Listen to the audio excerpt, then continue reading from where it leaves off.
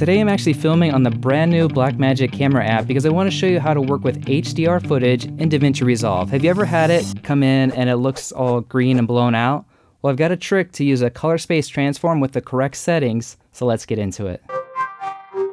So my footage here from the Blackmagic camera, which you can see if I open up the metadata tab here in DaVinci Resolve 18.6, it sure is from the Blackmagic cam. You don't actually know what color space this is in. Well, it's actually, it's going to be Rec 2020. So Rec 2020 is a good thing to know. If it was shot with HDR turned on on an iPhone, that's what it is. So if we go to the, uh, the color page with Shift 6 to get there, we're going to be looking under the effects area for a color space transform to correct this to Rec 709 because that's what the rest of my project is. That's what most of the world is going to want to look at. That's what YouTube wants.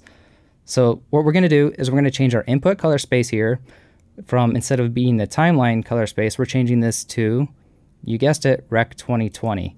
And just like that, you can see the color is starting to pop in there, right?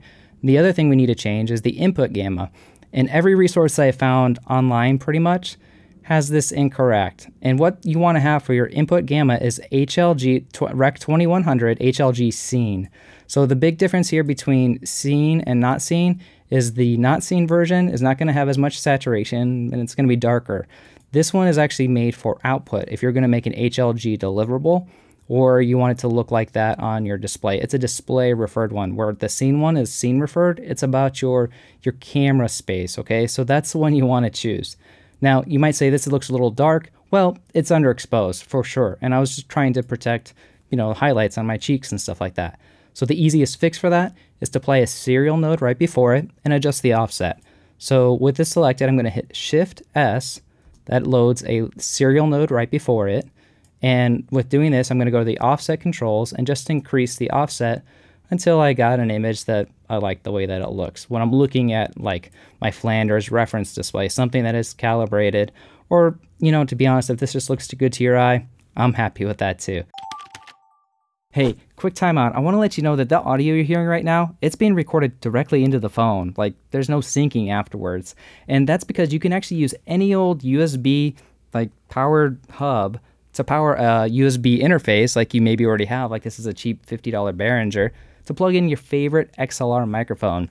For me, it's the Earthworks Ethos that I love right here.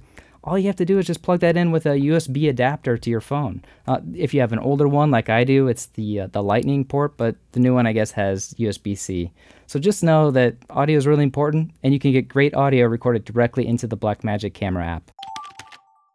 Now to copy and paste this to the other clips, that's actually a really simple operation. If you're not used to doing this on the color page, you can just shift select these clips right here and then middle mouse click. That's a special thing about Resolve, the middle mouse click, the one that has the correction, and you're all done.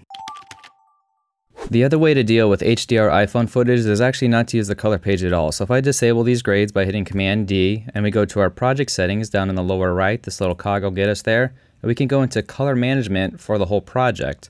So if we turn on color management by going to Color Science, DaVinci YRGB Color Managed, and hitting Save, we have good looking footage. Hey, if you learned anything new about DaVinci Resolve today, click the video that's on screen, and because there's so much more to learn, I'll see you in the next video.